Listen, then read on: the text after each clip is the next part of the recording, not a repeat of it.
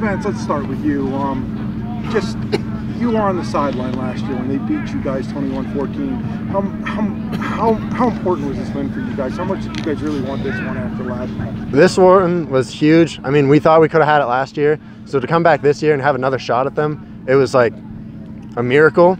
And then last year I didn't get to play. So I really wanted to just come out here, have my best game, and win it.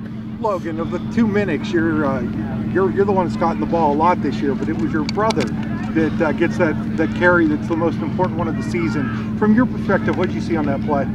Well, I saw I saw the line pushing back the pile, and he dove across the line, and it was just all it was all ecstatic from there. We were all so happy that he got in. Uh, Sam, what's going through your mind when you when the official gives the touchdown sign? Oh, it's just the best feeling in the world to know to put your head, that your team ahead at the end of the game, get the gold medal. It felt great. Uh, Mr. Conner, on uh, on the pass into the end zone there that you knocked down, what are you seeing there? Uh, well, I knew they were probably going to go deep, and then I kind of whiffed on my coverage, and I saw he got behind me. I got pretty nervous.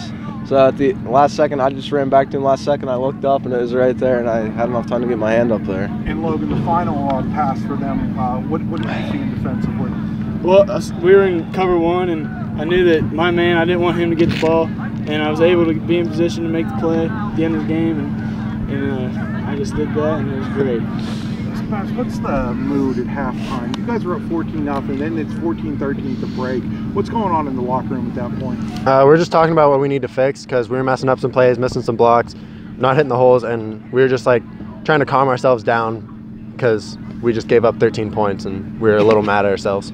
Guys turned the ball over three times in that first half, which is uncharacteristic. Um, was it just the weather a little bit? Were you guys maybe trying too hard, or just some stuff that they were doing? Um, I think we might have been like in our own heads because it was like some simple stuff, and we just I think we were just in our own heads. A big game, cold weather. Um, it had been a long time since Kane lost a game to a District 9 team. Uh, I, I know you guys have a ton of respect for them. Is this exactly how you foresaw this football game going? Uh, slugfest all the way down to the end? Yeah. Absolutely. Uh, yeah. Yeah, pretty much. we knew it was